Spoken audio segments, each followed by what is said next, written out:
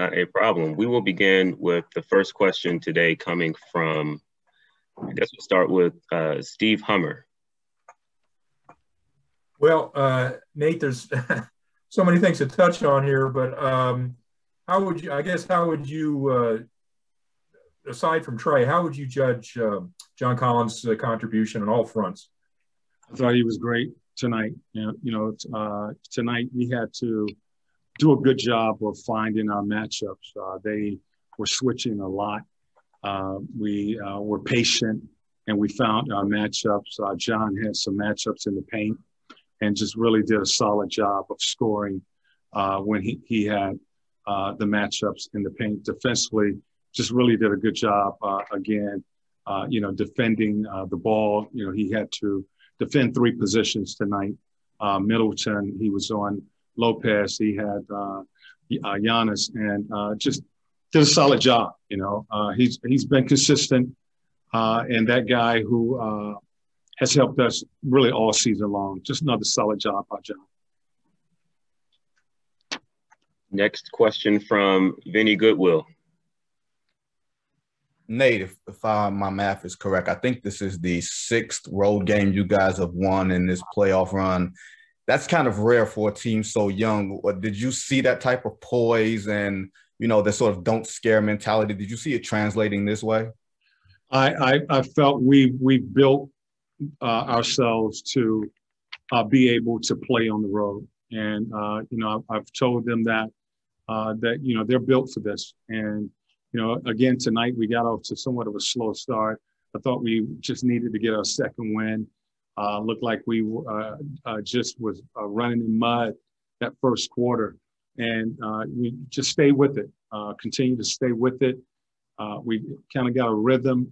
found out what they were doing defensively. we were able to take advantage of some matchups. you know, defensively, we brought the defense to the floor again in the second half and was able to come up with big stops. But they really just kept their poise, kept their composure, uh, you know, uh, for the full 48 minutes, which is uh, what is required um, in these playoff games. All right, we're going to take a couple from the room. We're going to start with Sarah. Hey, you guys were down she was seven with about four minutes to go. Just what was the biggest thing that got you guys back in this game? and the tide? well, again, you know, we've been in this position uh, many times, and you know, seven uh, point game is really three possession game. Uh, we, we feel that well, we, we know what we need to do. We need to get stops, and we need to execute and uh, and score. And you know, th- they did another solid job of uh, executing down the stretch. Again, finding that matchup.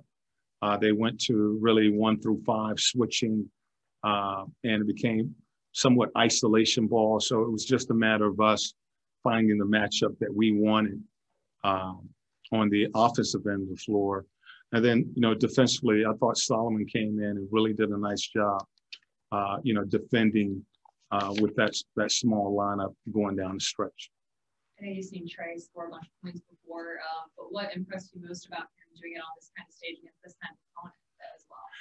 I mean, they they have really good defenders, and you know uh, what I, I uh, respect about Trey. He's going to always stay aggressive, and you know he continued to stay aggressive and and and and, and take his shots. And tonight, uh, you know those those shots were were falling uh, for him. I thought he did a good job of, uh, of again. Uh, you know, reading the defense and getting the ball and putting the ball in the hands of guys who had their matchups. Uh, John had a few matchups. Uh, Gallinari had some matchups. And so a good job of reading the defense, getting us organized, and executing uh, against their defense. Chris with the Athletic. Nate, what can you say about the mental makeup of this team to now win three straight game ones on the road? I just hope that they, you know, they're maturing and they're, they're showing that growth and uh, they start to believe in, uh, you know, what we are doing and uh, how we we practice and condition ourselves to play. Uh, you know, we we just try to play the game the right way, uh, play with the energy, uh, play selfless basketball, Uh, and, you know, always, you know, we, we talk about that fist and, and being connected. I, I think that's what you're seeing from these guys uh, going down the stretch on both ends of the floor. Joe Barden? Hey, Nate, I'm right behind the TV here. Um, you said uh, earlier that you guys were built for this when you were asked about winning on the road. But uh, on March 1st, you were 14 and 20, and Trey and John weren't getting along, and there were all these all these problems. How how hard was it to fix what was wrong at that point? And and what do you mean by you're built for this now? We, we just continue to condition ourselves to play this style of basketball. Um, you know, aggressive uh, defensively. Uh, we want we want to build two-way guys. Uh, we we understand that we have uh, depth, so we want guys. You know, unselfish basketball. Um, you know, playing the game together, uh, and you know, committing to each other. You know, so those were the things that you know. Basically, when I I, I took over, uh, you know, that's just what I believe in. And I, I, believe that you play the game the right way, you play the game together, uh, you give that effort, uh, you're going to give yourself an opportunity to win games. And uh, they've been able to uh, learn how to uh, execute down the stretch. you know, Trey continues to show growth in running the team. and you know, they they continue to uh, improve uh, all of all of them playing together. You know, so again, it's different guys, different night. It was Kevin the other night. It, it was it was Trey tonight. John did a real uh, solid job. You know, Solomon didn't play much in the last game. He stepped in tonight and gave us some really good minutes. Uh, you know, so uh, they continue to just believe in each other and play the game the right way. Tim? It, it, uh, it, seemed like, especially early on in the game, the Hawks are pretty, or the Hawks are pretty content to let Trey kind of get to that floater range and kind of get those shots and stick to everybody else. Was that the way you saw it? And you think that because he had so much success with that, you guys were able to kind of dictate the way from there going away from small? Well, that's their defense. You know, they they they uh, their guards do a good job of uh, sending you to Lopez, who's deep in the paint. And, uh, you know, basically, you know, that's the shot that they want to force you to make. Uh, you know, Trey has to make a read in a situation like that, uh, whether he has the shot or he has to kick out. And, um, you know, but that's their defense. Um, you know, they, they keep their five in deep drops and, uh, you know, force you to try to shoot over their guards and their bigs. But it seemed like as the game went along, they kind of switched away from that. And in part, I would assume because of the success Trey had. And do you think that some of that momentum he was able to get early in the game was part of why he was able to have so much success kind of going into those matchups and take advantage of them down the stretch also? Yeah, I mean, they they adjusted their defense to try to cover uh, our guards who were attacking. And that's when they went to basically switching everything. Uh, and, you know, again, we this is something that we have seen. We've con- really try to condition our guys to uh, be prepared for uh, because we talked about in playoff basketball, you're going to see this defense. And uh, once you see this defense, now you got to find out where the ball should go, and then you got to win the matchup. And uh, tonight we was able to uh, win the matchups when they went um, to their switching defense. Okay, we're going to take one question from the room. Steve, and then we'll turn it over to uh, the Zoom room. Colin, 19 rebounds, got the putbacks uh, Charlotte had for good. They're a team that prides themselves on under the board, you know, plus six rebound margin. Just how big was the rebounding in general? It's key. You know, uh, they are uh, an elite offensive rebounding team, and uh, that is a major key for us to rebound the basketball. Um, and tonight, I thought we early we gave up some offensive rebounds uh, in that first quarter, uh, really the first half, and uh, we started to clean it up and we won the boards. But we got to do it a better job of rebounding uh, the basketball because they uh, they do a great job. Their guards uh, get in there and they fight for those extra opportunities. You know, the bigs are tapping it out for extra possessions. Uh, so we got to do a better job on the boards, and we got to do a better job of keeping the ball in front of us. I mean, we gave up 70 points in the paint um, tonight, and um, I, I, I think our defense can be better than that. It needs to be better than that. Jeff Schultz from The Athletic. Nate, uh, you, you, referenced the road wins earlier. Um, this is the third straight series that you opened on the road with a win. Uh, obviously, you didn't have a full strength bogey. You've had other issues. It doesn't seem like anything phases your players. Um, have you ever been involved with a team at all like this where nothing seems to phase them? It doesn't really seem to matter what the odds are or what people say? Uh, we, we've talked about that uh, from the beginning, Jeff. Uh, just you can't listen to the outside noise, uh, good or bad. So uh, we know that, you know, the next game is going to be even harder, and uh, we're going to have to play better to get that win. And that is our focus. You know, each night um, we come out and play. We want to give our give everything that we have, and we want to uh, execute out there. And whatever the result, you know, whether we win or we lose, you know, we'll look at tape tomorrow. There's there's a lot of uh, room for improvement. We're going to need to be better, uh, and that's our mindset. You know, not listening to what folks are saying uh, that we we can or cannot do. Uh, it's all about us. You know, the the guys that's in the room. Uh, you know, those are the guys that's going to get it done. And, you know, that's the, uh, the, uh, the approach that we have taken. Is there a ceiling for your team?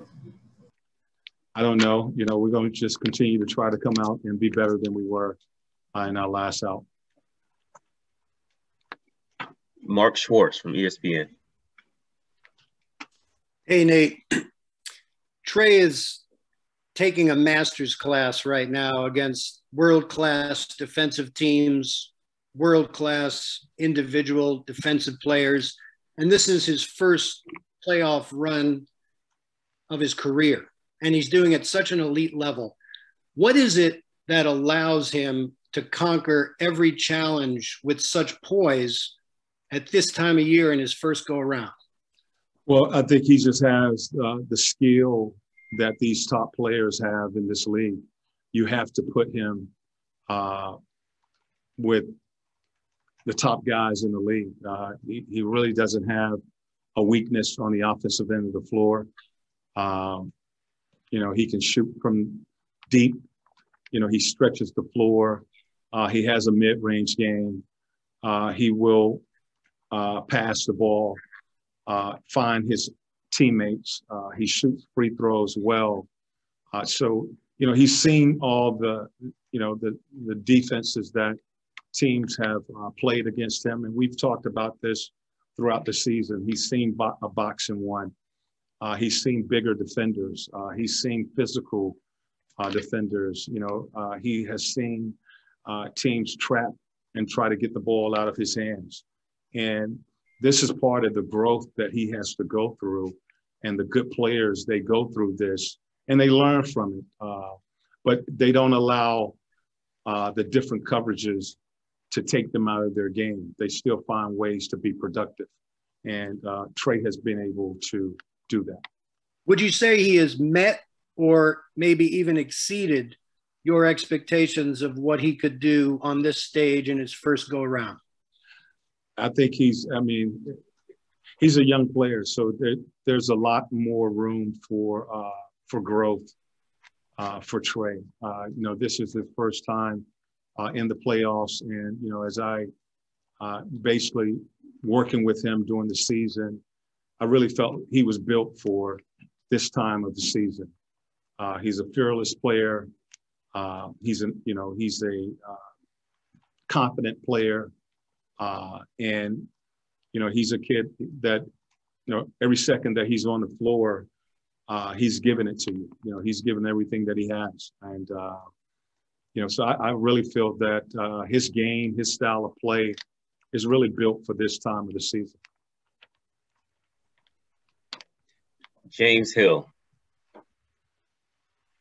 Nate, there's something special about your ball club. Can you talk about the intangibles? And again, they're able to go on the road, get that first one again, and then just kind of set the foundation for a great series.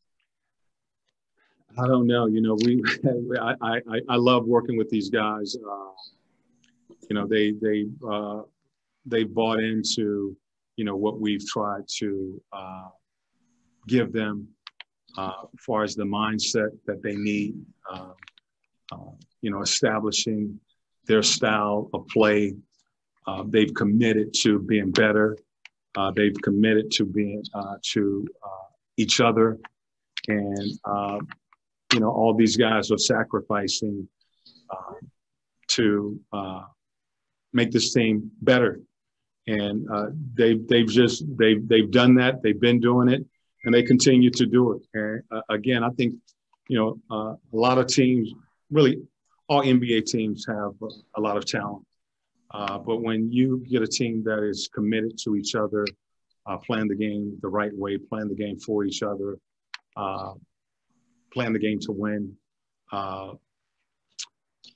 you, you, got something special there. And I, I, really do feel that we do have something special with this group. Coach, in closing, uh, Clint, can you talk a little bit about him hitting the glass and, and competing on the boards? Yeah, well, he had this the assignment to tonight of uh, you know he leave uh, the Philadelphia series guarding Embiid, and tonight he had Giannis. Uh, you know, I, we we believe in him. Uh, you know, he's been the anchor uh, to our defense. You know, both guarding the ball, help defense, rebounding the basketball uh, you know, setting screens, freeing up uh, the ball. You know, he's just a such a big part of uh, this team and uh, how we try to attack. Uh, he's become, you know, a, a, a, really uh, important part to the success of this team. All right, we'll do two more. Chris Kirschner, with the athletic. Nate, since you've taken over, what have your conversations been like with Trey just about his leadership abilities on and off? Uh, we're just talking to him about it, you know, from, from one point guard to another. And, you know, a, a young, uh, talented uh, point guard, you know, I've, I've, been in his position before. Uh, you know, I certainly don't have, uh, have the talent that he has uh, on the offensive end of it. and, you know, basically, you know, this team was trying to, an organization is trying to take that next step.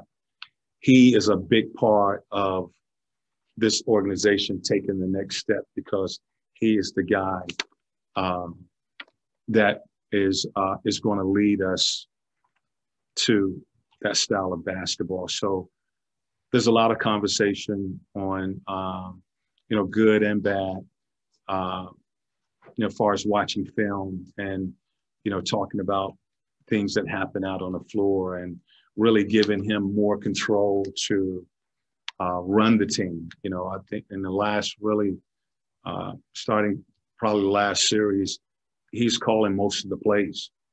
And I want that because I want him to have a feel for uh, what's going on, how to get his teammates involved.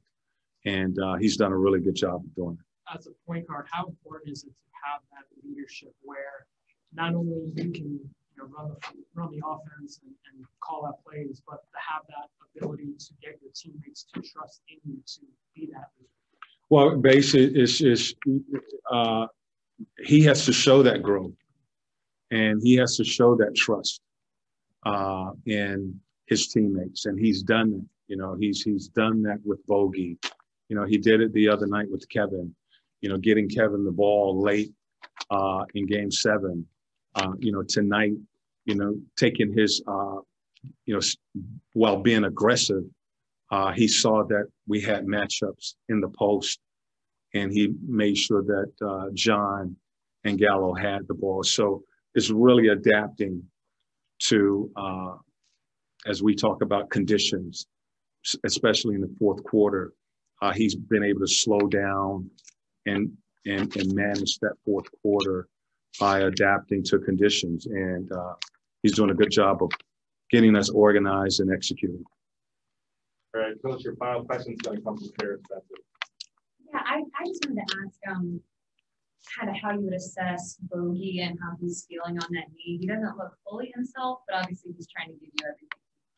he is giving us everything. And, um, you know, it's, it's, it's pretty obvious that uh, there's some soreness there. But uh, again, this is the way this team has been built. They just, he does not want to sit out. You know, he's trying to give us whatever minutes uh, he can give us. And uh, it really has helped us uh, the last few games, uh, being able to have him out there uh, because he's still a threat. And, you know, but that's, these guys have uh, been doing this all season long. Thank you.